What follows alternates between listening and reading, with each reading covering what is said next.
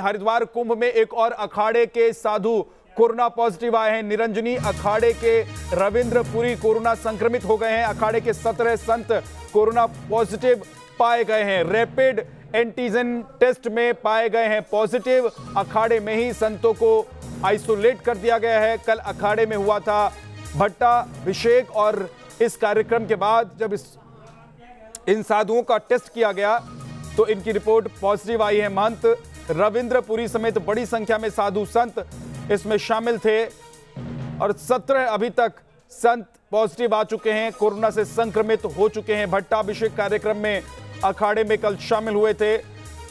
महंत रविंद्रपुरी समेत बड़ी संख्या में साधु संत इस कार्यक्रम में शामिल हुए थे। लेकिन अभी जो जानकारी मिल रही है, उसके मुताबिक आपको बता दें कि एक और अखाड़े के साधु, निरंजनी अखाड़े के साधु रविंद्रपुरी कोरोना संक्रमित हो गए हैं।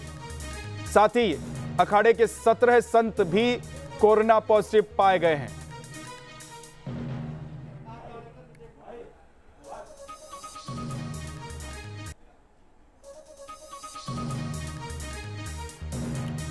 और बड़ी खबर, एक और बड़ी खबर आपको बताते हैं। केंद्रीय सूचना प्रसारण मंत्री प्रकाश जावड़ेकर कोरोना पॉजिटिव हो गए। प्रकाश जावड़ेकर ने ट्वीट कर जानकारी दी है।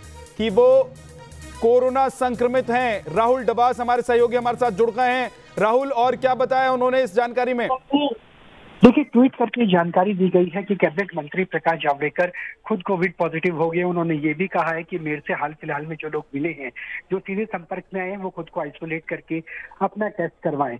तो ये कोई पहला केस नहीं है जब केंद्रीय मंत्री इस तरीके से पॉजिटिव हुए हों। राज्य में केंद्र सरकार में कई ऐसे मंत्री हैं जो पॉजिटिव हुए हैं लेकिन महत्वपूर्ण बात यह है कि कल बैठक होने वाली थी कैबिनेट की केंद्रीय कैबिनेट की बैठक होने वाली थी।